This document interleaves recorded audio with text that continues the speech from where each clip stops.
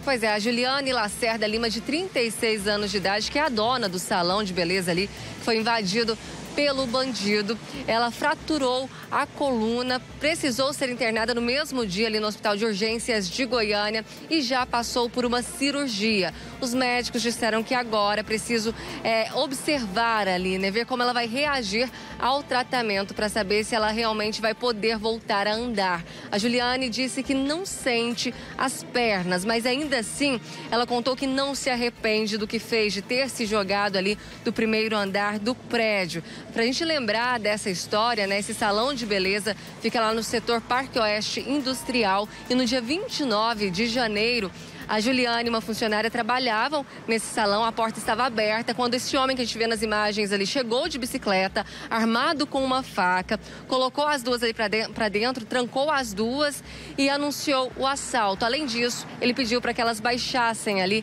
as calças para cometer o estupro. A funcionária, desesperada ali, tentou negociar com ele, mas não conseguiu e acabou cedendo, baixou ali a roupa, né? Só que a Juliane, num ato de desespero, saiu correndo, subiu ali as escadas e se atirou, como a gente vê na imagem ali, do primeiro andar do salão, Manuela. A gente vê que ela cai ali de mau jeito e na hora acabou fraturando a coluna. Esse homem fugiu de bicicleta e ainda não foi capturado. A gente tem inclusive uma fala da Juliane ainda no hospital. Ela segue internada lá, né, em recuperação, aguardando para saber como que vai ser é, todo esse tratamento, se ela vai poder voltar a andar. Vamos ouvir o que ela fala.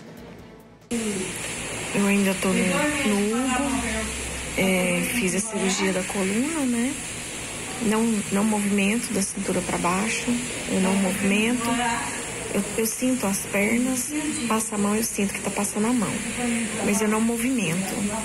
Eu não consigo movimentar nada. E agora descobriu dois tornos, dois calcanhares quebrados, tá os dois quebrados eu estou aguardando a resposta da equipe médica para ver se a gente vai fazer a cirurgia, se tem necessidade ou não. É...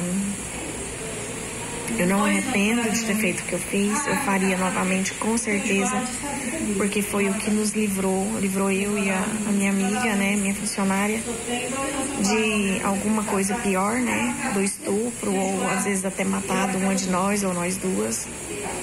E como eu não pensei na hora, foi bem é no desespero mesmo, eu pular e eu pularia de novo, com certeza. Eu não arrependo. É, a gente não tem previsão de voltar a andar. Os médicos não conseguem me dar essa, essa, essa resposta.